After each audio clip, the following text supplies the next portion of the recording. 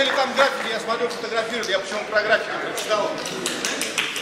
Лежит на сковородке курица одинокая, как Пиноккио. Почему как Пиноккио? А почему бы и нет? Пиноккио. Нельзя одиноко, добавлю гарнир. Гарнир это малина. Тогда обязательно нужен геро, добавлю лимонный пирог. Простите, а где Артемон, Орликин? Положил пару сардин, нельзя, без дуримара и карабаса-барабаса. Хрен вино, какое есть? Васа, забыл про папу Карло и Джузеппе. Веточка зелени и кетчуп. Смотрю радужно на этот театр и думаю, как все это будет сочетаться. Насколько Пьеро грустный, Карабан Барабас грузный, Орликин веселый, какого Мальвина помола, странные мысли, странные. Наела курица одинокая. Опять просто Демьяненко ты вмазался, чтобы создать этот театр на сковородке. А я трезв абсолютно и навечно здоровый. Просто забыл, любимый, сыграть на лютне о том, что нормально доехал до дома забыл. Где Буратино? Все перепутал, дурак, дурачина. При чем здесь Пиноккио? Где Буратино? А может, я Буратино? Вот от чего рождаются эти мысли дикие. Мысли вьются ивовой ветвью. Я Буратино, который стал, наконец, человеком.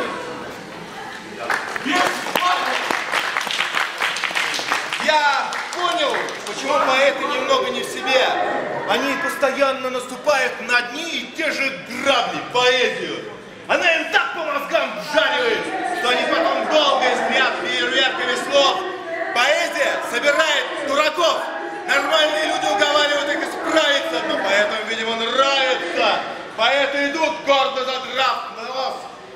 И наступают на одни и те же грабли.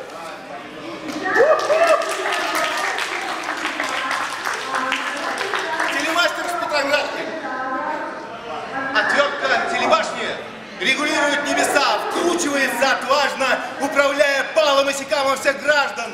Телевизионный сигнал устойчивый, переливаясь по экранам Петербурга, настраивает настроение и мозги, спаривает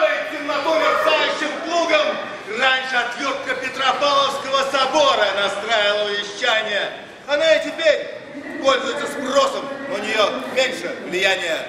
Петроградка – ответственный телемастер со времен Петра.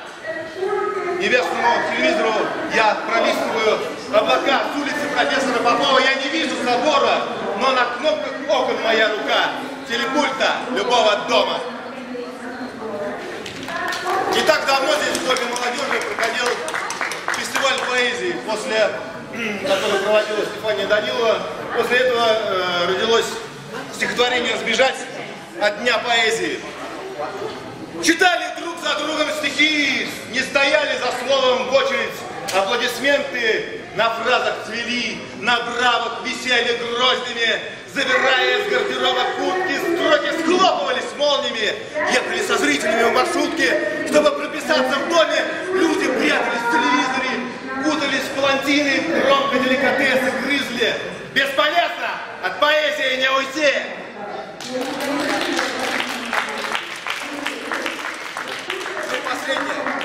Называется саженец. Говорят, наше время сложное. Я не знаю, быть может, но минуты, как прежде, идут задумчиво из прошлого в будущее. И каждый человек ответственен, какие расцветут мгновения в огородах эпохи нашей я несу зажать саженец. Спасибо. Ребята, э, многие поэты, и, собственно, информация фестивале, я являюсь еще редактором парадного подъезда. Кому интересно, может подойти посмотреть журнал. Спасибо!